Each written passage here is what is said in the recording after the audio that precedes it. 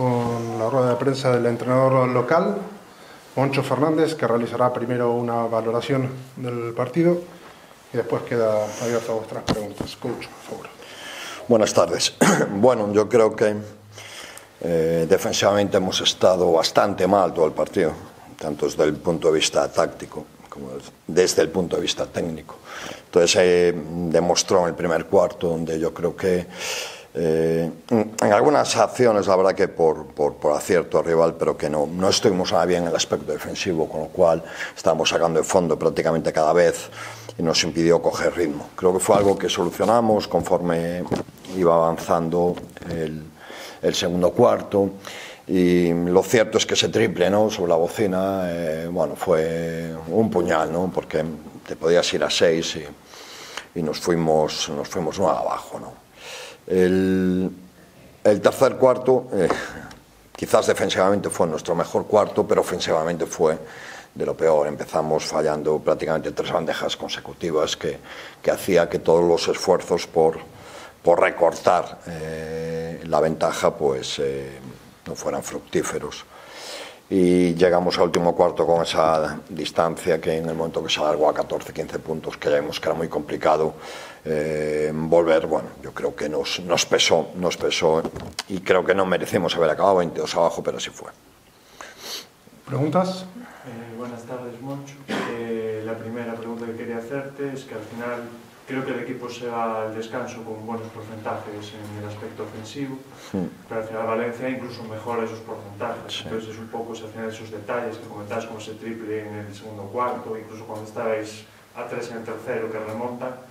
Es un poco la diferencia que sea un poquito en los equipos de Euroliga que tenemos que tienen esa capacidad de separarse otra vez. Sí, hombre, ellos meten canastas de mucha calidad, ¿no? Hay canastas de Jones, de Oyeleye, eh, que están bien defendidas, el triple de Davis, están bien defendidos, pero los meten porque son muy buenos, ¿no? Pero yo creo que nos falta un poquito de, eh, pues de picardía, de mala leche, algún mismatch que no gastas la falta, ¿no? Llegamos con una falta al final del, del, del, tercer cuarto, pudiendo haberlas gastado en unos contra unos, por ejemplo, ¿no? en situaciones de, de, este tipo. Es cierto que ellos han tenido mucho mérito en muchas acciones, pero nosotros yo creo que podríamos haber hecho un poco más. Y, y además lo que no te puede pasar factura, y menos en esta situación en la que estamos, es el venir abajo cuando no, hay que seguir luchando y peleando porque es muy, muy importante. Después también quería preguntarte en relación a la decisión del equipo que estuvo hoy, que al final entró Blacevic en la convocatoria, Kobler, etc. Un poco si lo que buscabas era igualar ese físico del que nos hablaste en la previa con Valencia. Bueno, pues eh, eh, ellos juegan muchas veces con dos cinco, como, como sabéis, o con cuatro, bueno, pues por ahí, por ahí era la idea. Eh, pero un poco es lo que va a ser de aquí al final de temporada. El, el equipo tiene 14 profesionales y lo que va a marcar las convocatorias pues será la salud, la reglamentación el estado de forma y eso es lo que, lo que vamos a hacer cada partido. Y la última que tenía yo es un poco que sabemos un poco lo que fue el resultado del partido, un poco ese rendimiento a Cassius, un poquito como lo vivisteis desde vuestro banquillo. Bueno, pues era lógico que el, que el, que el, el público lo aplaudiera, ¿no? Cassius ha estado aquí tres temporadas, ha muchas alegrías, un jugador muy querido y bueno, pues es bonito ver cómo le reconocen a uno el, el trabajo y la, y la dedicación. ¿no? Yo creo que es una pregunta más para, para Caso. Nosotros muy felices de, de verlo siempre, lógicamente.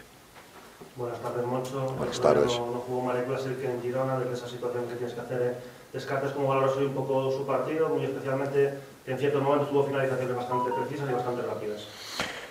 Pues hubo situaciones donde pudimos encontrar las ventajas que, que nos da eh, pues, su juego de poste bajo. La pena fue pues, ese uno de cuatro ¿no? en tiros libres porque ibas a la ventaja y, y las faltas hicieron que, que no los anotara. Entonces al final la, la, ventaja se queda en una, en una desventaja. Pero bueno, Marek es un jugador muy inteligente que aporta en las dos posiciones y, y bueno, que intenta hacer lo mejor posible siempre, claro. A la hora de hacer los descartes, evidentemente prima la decisión técnico-táctica y física, pero si por otro lado también a la hora de realizarlos, eh, también analizas un poco la gestión grupal para mantener a todos eh, activos y a todos en ritmo competitivo. Pues lo que, te, lo que le decía a tu compañero es la decisión viene marcada por el reglamento, es decir, siempre tiene que haber un número de, de cupos, eh, no puede haber más de dos extranjeros y, y la salud, ¿no? fundamental, y el estado de forma. Y, te vuelvo a repetir lo que le dije a él, son 14 jugadores como en casi todas las plantillas de Ligandés ahora mismo y bueno, pues iremos buscando aquello que entendamos mejor para cada partido. Y por otro lado, ha debutado Pablo Arquindey, además eh, canterano, santiagués. Eh, ¿Por qué lo eliges a él y cómo valoras eh, su actuación, su, su breve actuación, pero con dos rebotes ofensivos? Pues eh, vamos para orden, ¿no? Sí, lo elijo a él porque la reglamentación nos permite escogerlo a él o también podría haber escogido a otro, pero es un jugador que lleva en dinámica del, del primer equipo desde eh, pretemporada. Eh, ojalá hubiera debutado con otro, con otro resultado, claro, hubiera sido lo, lo, ideal. Pero bueno, es lo que digo siempre, que debuta un canterano. Eh, cuando llegamos aquí no había nada, ni nadie en la cantera, y hoy en día hay jugadores que pueden salir y, y, y participar y ayudarnos como nos ayudan, porque son claves en el, en el día a día. Respecto a los dos rebotes ataque, pues es Pablo. Es un jugador muy agresivo, eh, muy peleón y que da igual a quien tenga enfrente. Fue al aro las dos veces, las dos veces lo consiguió. Me alegro que salga en la estadística más que eh, solo por los minutos o el minuto y medio disputado, sino por esos rebotes que ha, que ha peleado.